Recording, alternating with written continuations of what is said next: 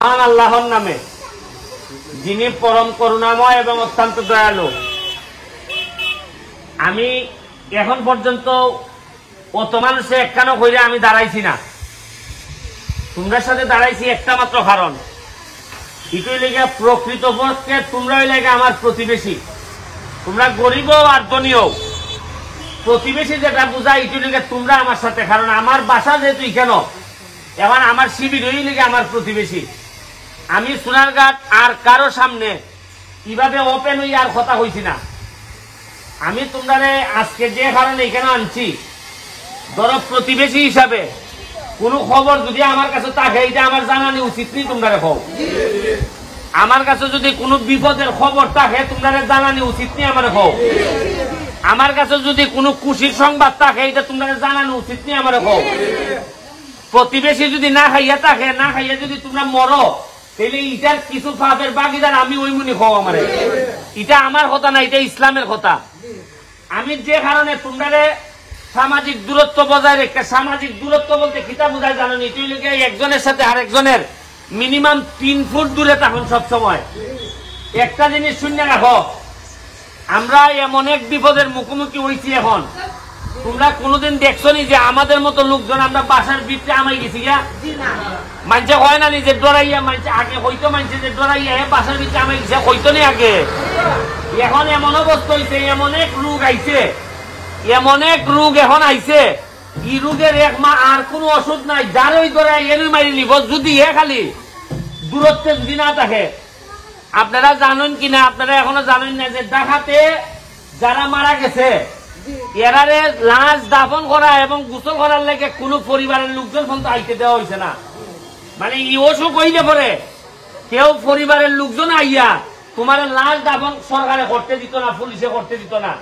ওই যে হাসপাতালে যাইবাই এরপরে ই লাশ আর চৌকে দেখতে না। কারণ হইলে গিয়া ওই ট্রেক্টারে হইলে লই যাইব। অ্যাম্বুলেন্স পর্যন্ত আমরা দেশ নাই তোমার যে অ্যাম্বুলেন্স আর আইতো লাশটা।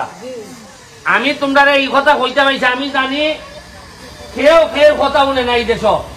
তোমরা হয়তো আমার কথা উনবাই কি উনবাই না, আমি জানি না। তবে এটা আমার দায়িত্ব।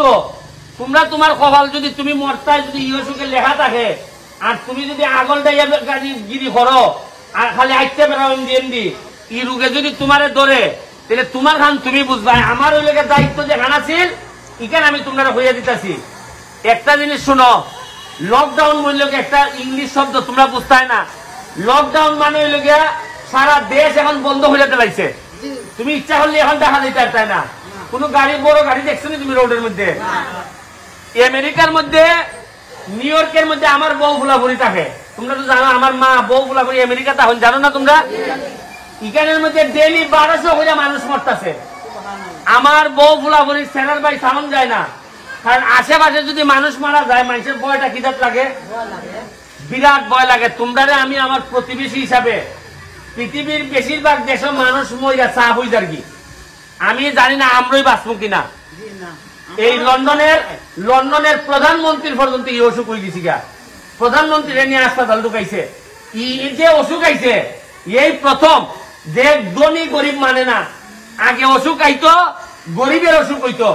এবার ধনী গরিব কেউ রে মানে না যারে ভাইতেছে যারে এটা শ্বাস প্রশ্বাসের মাধ্যমে নেয়। এই যে হাসি দাও না তোমরা হাসি দাও না এই হাসির মধ্যে যে যে অসুখ হইব আরও একটা কথা হই এই পুরা শিবিরের মধ্যে যদি কোনো কারণে একজনের ই অসুখ দেখা দেয় একজনের তাইলে এখানে পুলিশ আইয়া একটা লোক আর একটা দরজা দেওয়া হইতে পারতায় না। এই যে ঘরের ভিতরে আনাইব হারাটাও ভালাইতে পারতায় না ঘরের ভিতরে। এটারে হয় পুরাপুরি লকডাউন হয়। কারণ হইলে এটা যদি বাচ্চার হয় তে মার হইব। মার হইলে মানে বাপের হইব সবার হইতে বিঘা। এর লাগে দেখো যে যে জায়গার মধ্যে একটা রুগী পাওয়া যাইতেছে পুরাপুরি বন্ধ ঘোষণা করা হইতেছে। এখন সমস্যা হইল তোমরা আনছি আমি দুইটা কারণে। একটু হইল কি আমি প্রতিবেশী হিসাবে আমি তোমরা সুখে দুঃখে থাকতাম এটা আমার ইমানি দায়িত্ব। আমি বাঁচবো কিনা তার ঠিক নাই। কেউই বাঁচবো কিনা এখন আপাতত এমন দুর্যোগ আইতেছে। জাতিসংঘ হইয়া দিছে, বিদেশিরা হইয়া দিছে, আমরা দেশ একবারে কম হইল বিশ লাখ মানুষ মরবো। বিশ লাখ মানুষ মরবো আমরা দেশে কম হইল তোমরা আমি কইয়া গেলাম তোমরা আজকে যে কারণে এখানে আনছি, আমি একটা জিনিস কইতে মাইছি। সারা সোনারঘাট ফার্মো কিনা জানি না। তোমরা ঘরের ভিতরে আমাই যাও গা। আট দশ পনেরো দিন পরে যে অভাব দেখা দিব, কারণ রুজি তো খেয়েও তো নাই। খালি বাংলাদেশও নাই, বিদেশেরও রুজি বন্ধ। কারণ এর আগে সব বন্ধ হয়ে গেছি গা। কোনো এরোপ্লেন চলে না, কোনো বড় বাস চলে না। আমি তোমরা আছি, আমি যে খাদ্য যেমন লাগে, অন্তত তোমরা আমার ঘরে যদি চাল থাকে তোমরা না খাই আমার তাই না অন্তত শিবিরের মানুষ, তোমরা না খাই আমার তাই না আমি আমার ঘরে যদি এক এক কেজি চাউলও থাকে, অন্তত আমি তোমরা লই হইলে বাদ খাই আমার মুখ।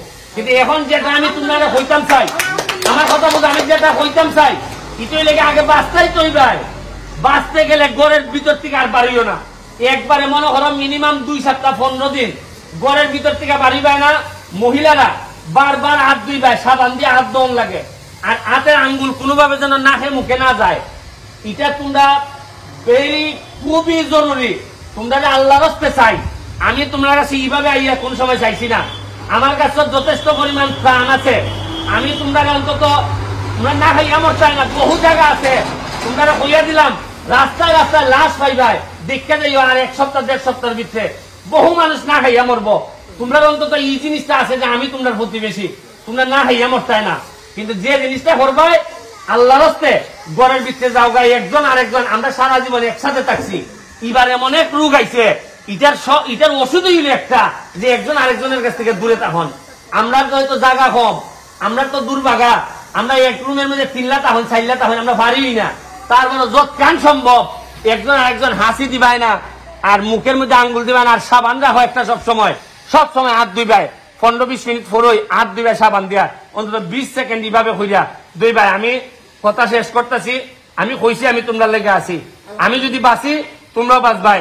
ত্রাণ ত্রাণ নিয়ে চিন্তা নাই। কোনো না কোনো ভাবে বাঁচাই লিমো কিন্তু এই অসুখে যদি ধরে, এই অসুখে ধরলে একজনও বাঁচতায় না, আর একজনের যদি অসুখ হয়, তাহলে এই শিবির, কিন্তু শিবির কে শিবির? একবার ধ্বংস হয়ে যাবে আমি কই দিলাম। তোমরা এই সকালবেলা আইবার লেগে আমি ধন্যবাদ জানাইতেছি। আমি জানি না এটা আমার তোমরা সাথে শেষ বক্তব্য কিনা। ফেরা থাকবাই থাকতে হয় না? জানি না।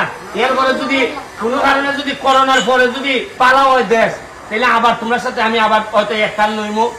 তোমরা টেকার চিন্তা হইল না, পয়সার চিন্তা হইল না, খানির চিন্তা হইল না। আপাতত আলাদা আলাদা থাকবাই কেউ আলাদা হাত আইবার তখন নাই। গরিবী যখন আইব, সত্যিকারের গরিবী যখন আইব আমার একলা করে খবর পাঠাইবা, কোনো একজনে দিয়া। আমি চেষ্টা করব অযথা যদি টেকা থাকে, তোমরা আরেকজন গরিবের টেকা নিও না। কারণ এখন সোনার গাছ, এমনও গরিব আছে, তোমরা চিন্তা করতে তাই না। এমনও পরিবার আছে, যারা শর্মাইয়া হইতে পারতেছে না, আমার সাহায্য দেও। এমন ইজ্জতদার লোক আছে, না খাইয়া থাকব। এরারে টেকা ফাটানি লাগবো, এরারে চাউল ফাটানি লাগবো। তোমরা যতদিন পর্যন্ত আছে, লুকাই চাওয়াই কোন রকম তোমরা চলো। তবে তোমরা নিজেরা নিতে গিয়া, যদি তাইকা থাকে তোমরা অন্য আরেকজন গরিবের হক নষ্ট করো না। কারণ তোমরা আমার প্রতিবেশী, তোমরা আমি আগে দিতাম হইব। তোমরা এই কথা হইয়া আবারও সামাজিক দূরত্ব বজায় রাখতে আস্তে আস্তে করিয়া যে যার বড় যে জায়গা, বাকিটা আমি দেখব। এই বলে আজকের মতো বিদায় নিতেছি। দোয়া হইল একজন আরেকজনের লেগে দেশের লেগে দোয়া হইল। এমন এক দুর্যোগ আইছে খেটা বাঁচবো খেটা মরবো আমরা কেউ জানি না। ঠিক আছে? আপনারা আইবের লেগে ধন্যবাদ। এখন আস্তে আস্তে জানি আমার সাথে যখনই বিপদে পড়বা, কোনো মানুষের মাধ্যমে আমি যদি কোনো খানি দেই আমার লোকে গেছো চুপচাপ ঘরের সামনে তোমরা দিয়ে বল তোমরা না খাইয়া থাকতে পেলে এটা শিওর থাকো কিন্তু তোমরা যেটা থাকবাই এটি হলো পরিষ্কার পরিচ্ছন্ন আর সামাজিক দূরত্ব বজায় রেখে থাকবাই। ঠিক আছে? আচ্ছা আস্তে আস্তে যাও গা। একজন একজন একজন ঘুরে ভাবলে